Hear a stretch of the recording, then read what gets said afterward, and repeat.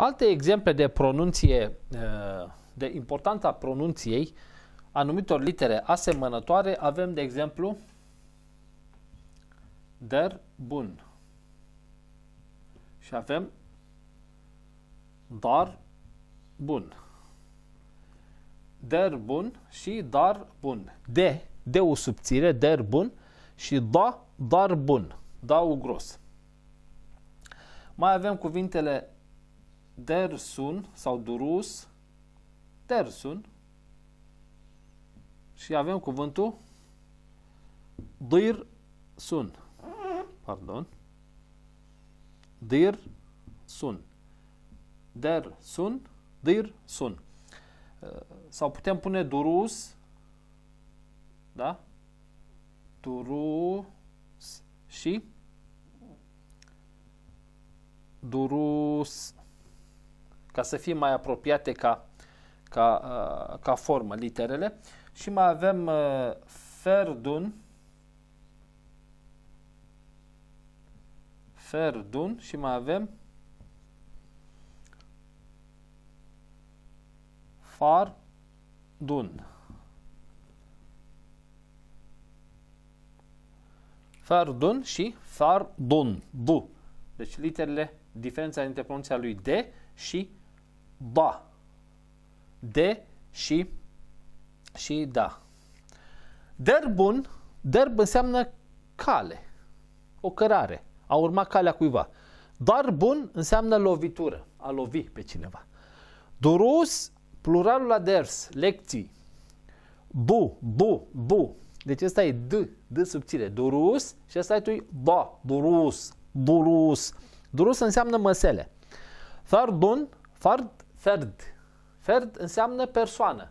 Fardun, fardun. Ferdun și fardun. Bu, bu, bu. Cu da gros, fardun. Așa, ferdun și fardun. Ferd înseamnă persoană și fard, așa cum bine știm, înseamnă obligație. Mai scriem niște cuvinte asemănătoare. Calbun, kelbun. Calbun, calbun cu caf, kel, kelbun. Uh, cale,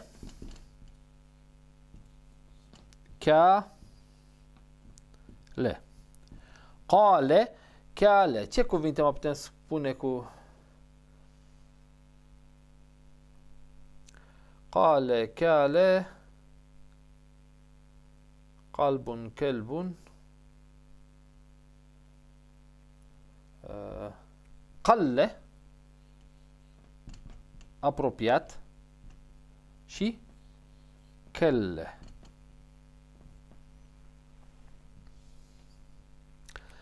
Calb înseamnă inimă, ca, cu caf. Deci aici avem diferența între caf, literă groasă caf și literă subțire kef. Calbun înseamnă inimă, kelbun înseamnă câine. Cale a spus, verbul a spus, cheale a cântărit. Calle, de la calil, a vedea puțin, a, a micșora, a scade, împuțina, și chelle a obosit. A obosit. Chelle a obosit. În această categorie, nu litere subțiri groase, mai putem uh, băga pronunția, importanța vocalelor. Avem uh, cuvântul ber, bir și bur. Deci, literele sunt asemănătoare, vocalele diferă aici. Ber înseamnă pământ, terestru. Bir, respect, birul walidein, respectul părinților. Bur înseamnă grâu, grăunțe, grâu. Deci ber, bir, bur. Aici vedem cum schimbăm vocalele. Deci atenție mare și când scriem sau vedem un cuvânt, trebuie să-i cunoaștem și vocala, să-i pronunțăm corect uh, vocala. Ber, bir și bur.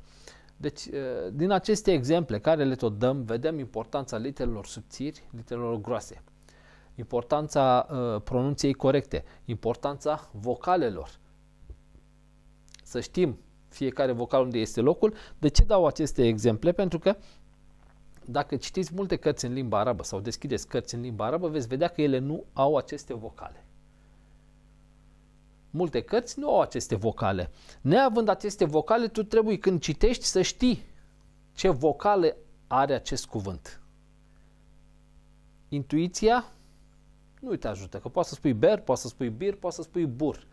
Acolo tu trebuie să știi în context cuvântul ăsta, adică se vorbește de ber, am plecat în călătorie, ber, bir sau bur. În călătorie uh, pe jos, terestră, adică uh, călătorie respect sau călătorie grâu. Automat luăm ber. Deci în contextul uneori trebuie să, să știm ce vocală punem și acest cuvânt îl scoatem când, pentru că sunt foarte multe litere asemănătoare, deci atenție mare și la uh, vocale și cum punem aceste vocale, cum le, cum le folosim.